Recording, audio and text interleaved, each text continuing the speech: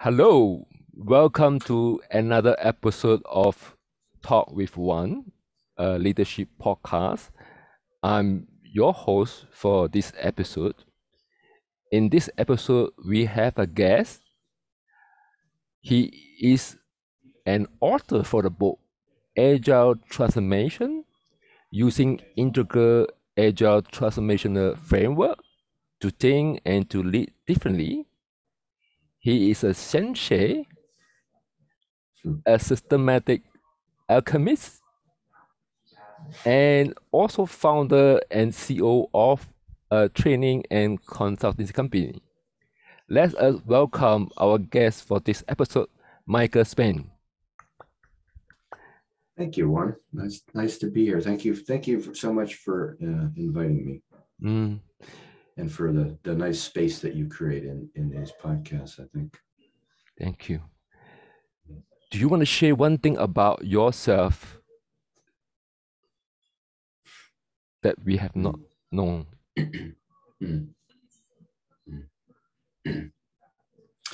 Um, what the thing that comes to mind in this context is um, that I, I've I've uh, been in the business world for a very long time, but I um, have spent a lot of time in spiritual studies, um, Tibetan Buddhism, um, Mhm. shamanism, um, various consciousness studies, integral theory, and um, more and more those feel like they come together for me. They Mm, don't. They used to feel like a split and and like you know how could i bring that part in to to business? Because there was some edge for people it felt like. It was a mm, little too much. Um mm, and and and now that to some extent that ref, ref, reflected uh, a division or a schism within me. And and I, I i just feel that less and less. And it's more and more important for me to bring what i know from a mystical point of view into um, business work mm. Wow, thanks for sharing that. Mm. I sense that beside the roles that uh, we have just shared, you Mm. bring in you bring yourself in and it's something that we may not used to in the world of business. yeah yeah yeah yeah the um uh part of my primary philosophy is that i am the most important tool of transformation that i have and, and Mm, using myself and all the dimensions of myself is the most useful thing the greatest service to other people i- i- Mm. if it's if it's if i use it well mhm. Self as an instrument uh, let us park it for a moment. I understand you have a new program called Transformational Mastery Expert Coaching Program. Can you share a bit about the program? Sure. Well, we started it. We started designing it um, uh, uh, mm, a year ago, and we ran. We've we've we've run one completely, and we've we're in the middle of the second one, Mm-hmm. and we're about and we're about to start a third. And it's it's really designed for um, people who are. You know, we have a we have a sort of an introductory program to enterprise coaching called Master Camp, and and but this is after that. This is for people who are are really in the middle of being enterprise coaches or or or moving into it and have a what we call a focal system, a place to focus where they can do that work and where they can demonstrate that work. So it's not at all theoretical or case study based. It's like your real client based Mm. and it's not it's not like mm, um, most uh, kind of basic training programs are knowledge based like they, they have learning objectives um, transformation mastery has competency objectives. Mhm. So so people need to demonstrate their competence around you know quite a few skills that are needed to do transformational organizational coaching. Mm. So it's a very it's a very intensive program. Mhm. It's very challenging for people. Uh, it's very stimulating. Uh, it's very supportive for people. Like we have somebody that went through the um, the first program and and didn't have everything that uh, she wanted to in terms of um, being able to demonstrate the competencies and whatever. She she she had such a good experience of the support that she got from people that she wants to do another cohort with us. Mm. Um, and, and it's a little bit like that. It's a little bit like um, reading a really good book or seeing a really good movie, and you want to. That, that's that's. I don't mean to say that that's the usual thing, Mm. but it has that kind of depth to it that um, that one could do that. And it's it's really it's a it's a you know our company is called the Collective Edge, Mhm. and the intention of it is to work at the edge, our edge, other people's edge, the ones that you know not all of the edges, but the ones that we are uniquely suited to work with. Mm. As So you it's sh- edgy for everybody. yes, as you share that there are two words kind of like attract my attention. You said that the program is challenging at the same time supporting. I wonder what is the intention behind this? Well, mm, what what comes to mind is the distinction that we make in classes that we've been making in classes for for many years between a person being in their comfort zone versus being in their growth zone versus being in their panic zone. Mm, mm, mm. and you you you don't want to push people so far that they go into their panic zone that that's not helpful. But you also um, want to structure it so that they raise out of their comfort zone. It's not it's not very growthful to stay in your comfort zone. Mm, mm, mm. and so the challenge is i mean and and and challenge and support are what create a container that can hold people in that process. Because because you can't just be challenged without Mm. real without real safety and and and really deep support right? Deep holding by other people. Mm, um, and also uh, that can get too comfy right if it's just supportive mm, mm. so it's it's also uh, opening up that edge Mm, for whatever that is for for each of us but also for us as a system mm. I can sense that this edge is is a, an environment that will stress the participant. At the same time, helping them to stay with it, maybe feel safe to stay with it. yes yes yes. I, I just wonder curious what is behind this environment? What is the thinking behind this? I mean what we like to bring with this uh challenging at the same time supporting environment. What what do we want to bring with it? Yes yes yes. Um yeah i think i well i think the ability to um to to go into our um uh, uh vulnerabilities and Mhm. things that we're not good at but also to own our um our superpowers Mhm. you know people are people are mm, people are reluctant to to be vulnerable but they're almost more reluctant to own how they're great in my experience Mm.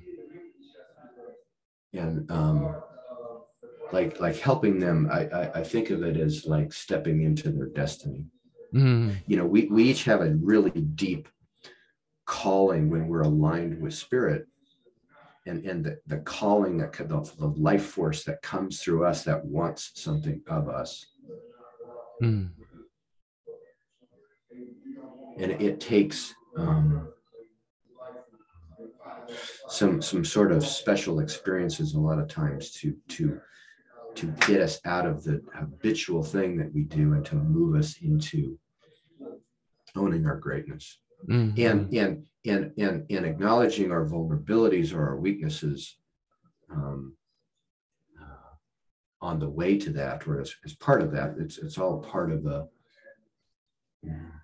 it's all part of what it means to be a, a real human being an authentic human being yes i don't know if that answered your i don't know if that responded to your question or not one but yes, there's to one say whatever you want there's one insight that come to me that to be myself, I need to own the vulnerability. And I find it uh, f- um, fascinating. You bring in vulnerability in the program called Transformation Mastery. Is this a bit like, um, like a bit uh, I won't say strange. I would say that Mm, mm. in order to master the transformation, I need to be vulnerable. It seems like that is the message. Mhm. Yeah. Yeah, and, but but but not just like in a mm, in a way that feels exposed or something, but in a so when when when we talk about self as instrument, part of what that means for me is that I expose my humanness to you in service of you growing. Mm, so so i might so i might uh, tell you how what you did makes me feel not not to uh, uh, express myself particularly but because maybe there's something in me me revealing that that helps you see yourself and how you impact people. Mm, and so i'm i'm willing to i, I don't just come from a place i mean I, I i can sometimes come from a place of like mm, thinking i'm the expert or um, uh, whatever. But but when i'm at my best i come from the place of using my humanness to reflect you to yourself mm. Mm. and Let me sit with that for a moment. It's like yeah sure Mhm. you said that I think in the few minutes ago, using myself as an instrument, and then you share additional me as a reflection of you, the other party. Mhm. Mhm. And at the same time, you also said that being expert may be there may be more than being an expert. So I felt that there's a bit of um, tension in me that Mhm. Mhm. me Mhm. as an expert that I may need to be Mhm. providing something. At the same Yes. time, I need to be like the mirror uh-huh yes and also bringing my vulnerability and as a human being. So I find that there's a bit of tension in me. Mhm. Between the, the, that expert and that being human and reflecting. Yes, yes, yes, yes. Yes, yes, right. See, you're doing it right now. So you're using yourself as instrument Mm, by by t- describing that tension mm, in you, and that there that there is a tension, mm, and that and that creates, for I mean, my experience is that creates more space right now. It creates a deeper. So, so when I answer from expert, and, it, and it, it's it's not that there's something wrong with expert; it's that there's something limiting with expert. mm, Sometimes it's useful to use, But if I think that I always have to be the expert, then I'm going to be sadly off. Mm. Right. Mm-mm. And that brings me to the next question. Vulnerability is something that we seldom talk about, especially in the business world. Mm-hmm. Yeah. And and that and and and and and and if I'm gonna wear the expert mode, it's like what will the potential practitioner think about this? Mm-hmm. yeah. Yeah. What do they perceive the program is like? It's so Yeah. different from so-called expert mode training program. Yeah. Right. Right. Right. Well, it's a it's a mastery training program, Mm, right? Which is beyond expert. It, I mean, it contains expert. You, you have to you certainly have to be authoritative about certain things that you know about you know agile processes about um, organizational cultures about leadership development about um, uh, flow in organizations you know value flow and and um, and work flow mm, but if I- if I just hold it from that expertise, I'm going to miss the mark. I'm not going to I'm not going to connect with real people and, and where Mm. they're really at. We're gonna we're gonna argue at a mental level, or or I'm going to try to convince them, and some people will push back, and some people will go, oh, okay, and then they won't do it. Right? mm, If I can if I can connect all of my body mind I'll reach people in a deeper way. And then my expertise, I can match my expertise to who they actually are and what the situation they're actually in. Yes. What I sense is like by putting the expert mode aside, I help to connect with my counterpart by Yes. by m- making the connection with Yes. the, with the counterpart. Yes.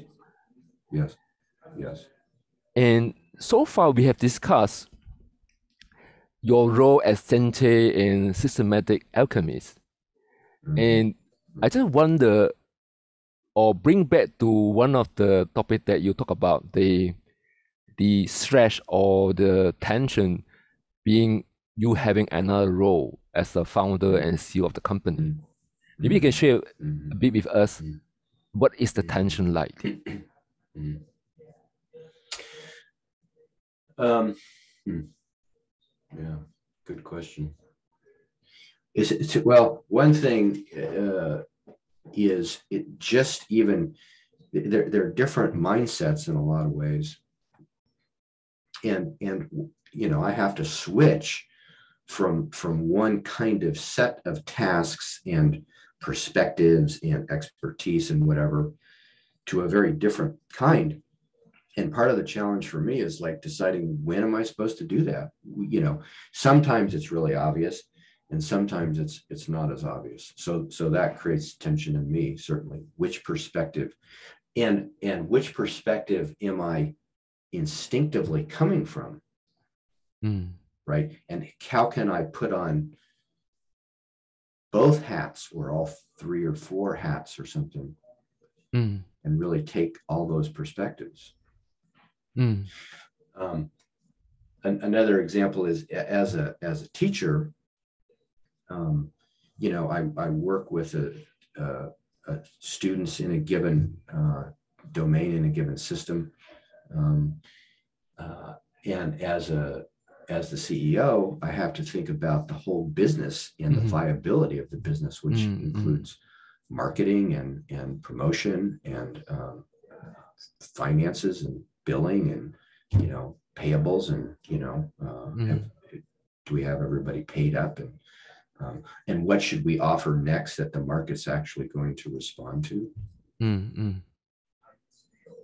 And those are I, I wouldn't call those in like strong conflict per se but they definitely don't have the same interests or perspectives.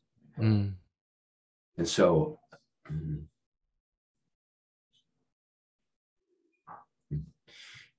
yeah, I mean, it it it uh, it's challenging sometimes knowing which perspective to take, Mm, or or which or which, which perspectives to alternate. mm, What mindset am I in? It- it- you know, like I say, am I am I acting without even thinking about it? From one, without knowing that I'm acting from the CEO instead of the teacher. mhm. Yes, I can imagine that this many had kind of like you said that that that you're conscious about it. I, I I want to get a bit more because as some of my our audience and listener are leaders and I believe they are also being asked by different stakeholder maybe on a conflicting uh wish goals and Yeah. maybe you can share with us what is your thought process or feeling when we you receive this kind of conflicting demand What's my top? Uh, what did you say? My top one? uh, share with us how not how what is your thought process or your feeling when you have you when you sense that there are conflicting demands Um,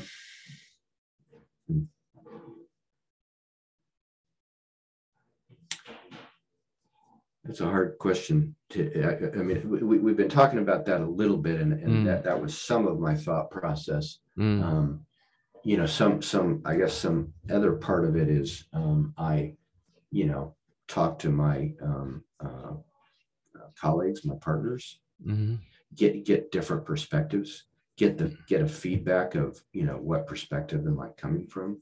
mm, try to take you know uh, integral is is very um, big in, in in in for me personally and in how I teach. And so the idea of integral is uh, an integral perspective or or an integral way of being is that we believe that um, that all perspectives have truth in them but they're partial. So mm, everybody is right but only partially.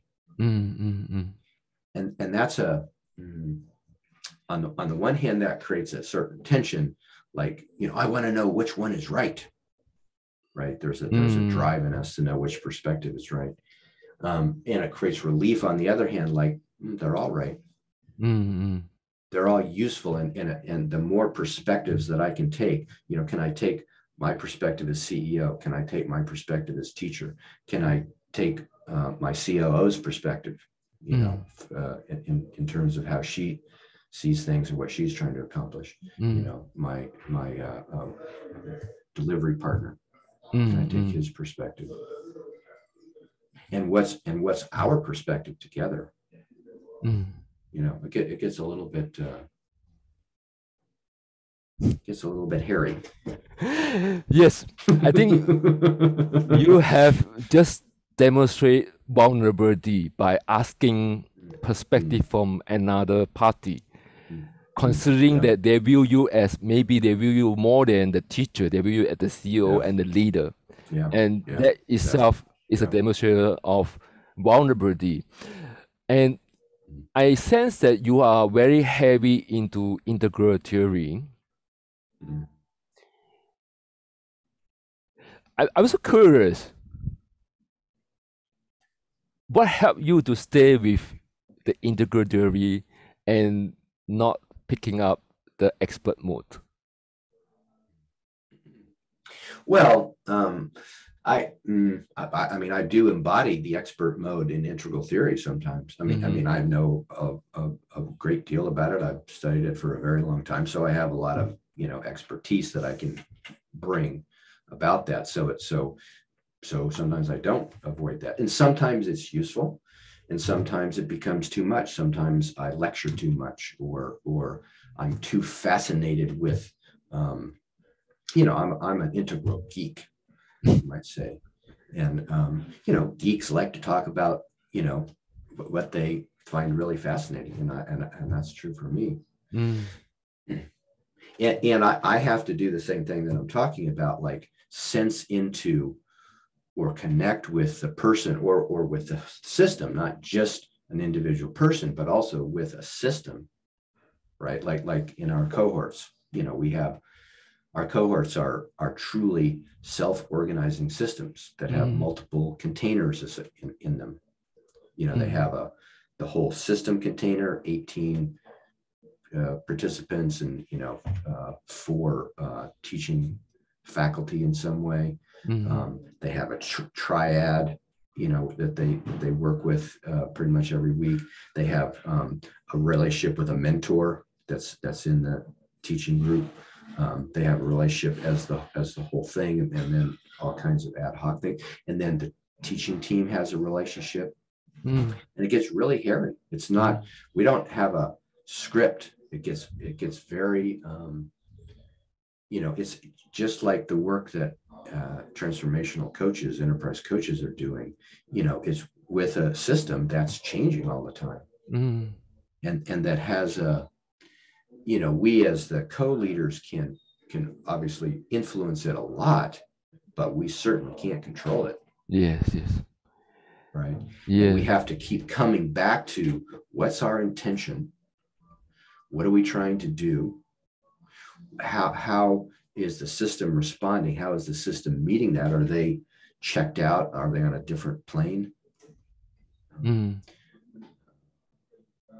You know, in in the first cohort, people had a lot of uh, understandable anxiety about the details of the competencies, Mm. and and there was a quality of it being like a checklist Yes. That they needed to fill, fill you know, and there, there, there is that quality. There is that aspect of the competencies um, that they are very detailed, and you have to have certain evidence for them, you know, established by uh, ICAgile that you know uh, that I worked with for a long time to to create this set of competencies.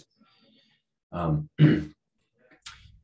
uh, so, so we we so so you know we sensed that in the system that there was this you know stir there was this disturbance Mm. around that and um, we had a special session and we we we got down to you know the most important thing is not that checkbox level it's you will want to do that at some point. That's what seals it up. That's what you know creates a certain level of groundedness and integrity of the whole thing is that we really do that you know sort of right hand quadrant level. But the first thing is what do we ourselves think? If if i asked you do you have the competency what that we've been talking about of um, uh, holding that your own sense making capacity is your Mhm. most important tool of transformation Mm. do you you know asking them whether they do that forget whether your mentor says it is forget whether i say uh, uh, uh, that's true Mm. what do you think what do you perceive Mm. you're the most important uh, judge of Yes. that Yes, yes. if you, if you don't sense that yourself if you're or if you're inaccurate about how you sense that or you don't own if you don't own your competence or you don't own your blind spots Mm. Yes, yes, yes. and that that shit that, that was it so that was a sense making exercise right Mm-hmm. sensing this anxiety and whatever and then taking an action creating a new exchange creating a, a, a special container Mm. and it was very enlightening for for all of us Mm. you know it, it was it, it emerged how important you know the self appraisal Mm. was and how it was the foundation. Not not you know do i meet some other you know socialized mind wants to meet that other checklist and approval right? Mm. self-authoring mind let alone self-transforming mind integral mind. My own perception is definitely and and my my perception of my impact in the world. Right? I i, I mean i mm, when i teach i f- actively feel my own competence i feel my mastery as a teacher Mm. it's obvious to me. It- it's it's not that I'm uh, perfect or don't screw up, but I can. I, I it's it's a live demonstration. I can. I, you know, you can feel people shift. Mm. Wow. And if I don't have a sense of that and ownership of that, I'm not going to be nearly as effective. Uh, and I'm not going to get to a level of mastery. Mm. Well, thank you for sharing your sense making. I won't say process. It's like what goes through your mind or your body when you're doing sense making. At the same time, you bring in, you couple with a perspective of uh, action logic. Yeah. Yes, I think that is very uh, crucial, right? Because uh, you are beyond one role. You have multiple role, and that require a certain type of action logic to handle the complexity. What uh, should we tell people what action logic is if they don't know? Uh, maybe you can share a brief, brief. few, Why few you brought it up, pal? yes. What, what, like... how, how would you describe it? I'll, I'll, I'll add on. But yes, for me, right. I, I maybe I use an example like what you just uh, yeah. share. If I'm a student, yeah. if I'm an expert, I would say that okay, what I need to have so that I go through all the checkbox, so that I make sure I score or uh, I fulfill right. the requirement. Yes. Expert logic. Yes. Yes. Right. Then if I go to one level up, I will say that what are the different ways I can make sure that I achieve my objective, yes, right. my goals. Yes, right, right. And right, if I right. want to go further up, it's like how would I help the collective or our cohort yes. to yes, move up whatever level they need yeah. to be. So yeah. that is how yeah. I would share that. Yeah, yeah, yeah, mm. yeah, yeah. Um, Bill Torbert, uh, Susanne Cook Greuter, um, for people, um, uh, yeah, those uh, mm-hmm. expert achiever, individualist, strategist. Yeah, similar to the altitudes, well, uh, parallel to the altitudes in integral. Mm-hmm. Yeah, and and yeah, we we certainly use that kind of thinking in the cohort to understand, you know, and it's it's aimed at people that are probably at individualist to strategist kind mm-hmm. of a mm-hmm. level. Somebody could, you know, somebody that's that's uh, at an expert action logic level is probably not going to be attracted to our program. It's not going to feel structured enough, or um, uh, it's not going to feel checkboxy enough. Wow. We, we, we, had a we had an interesting piece of feedback. This was in a, a different um, uh, class, master camp, but um, a, a, woman had a really interesting uh, piece of feedback to us at the end, which was that um, I've never been uh, taught by people really treating me in an agile kind of a way as that mm. I've got to figure it out myself. Mm-hmm.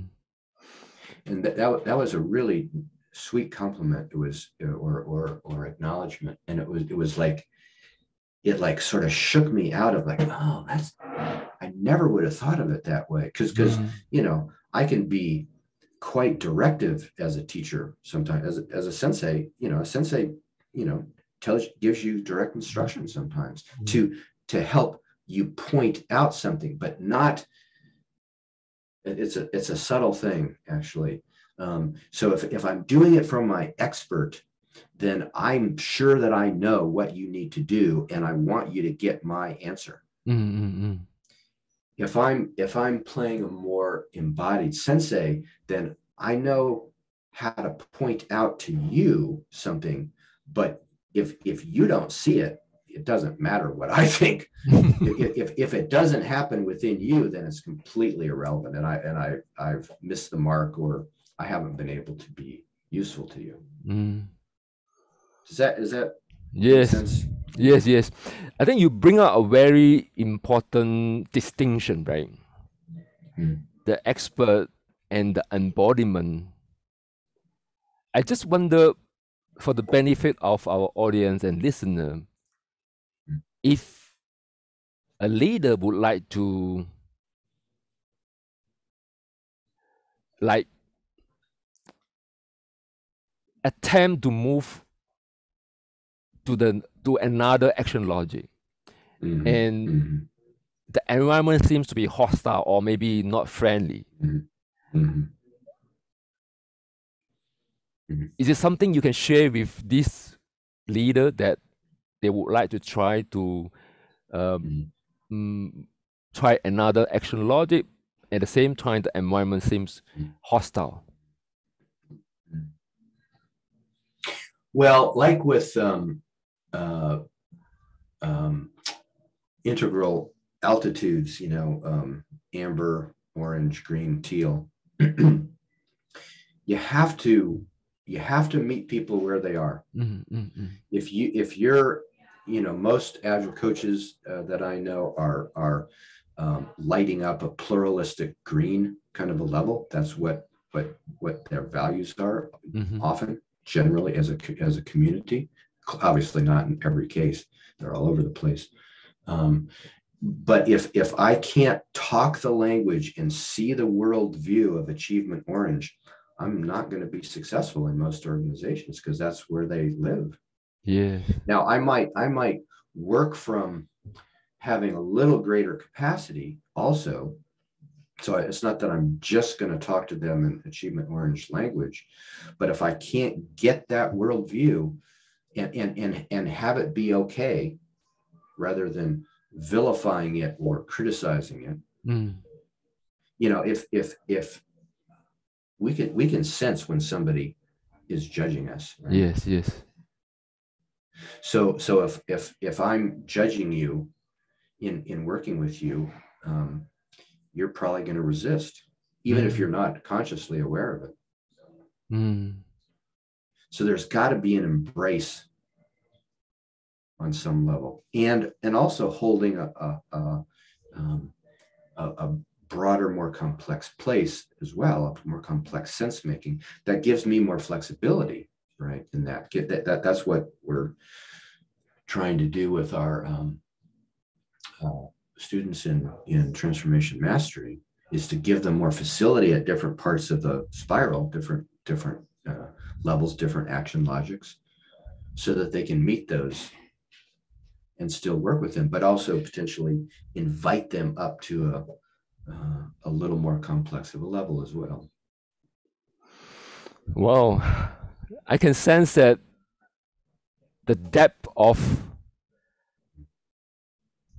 I would sense that the leader need to have a depth. It's not like one level or just one head. yeah yeah And yeah yeah and I think you bring in a importance of embracing the whoever they are or who Mhm. wherever they are.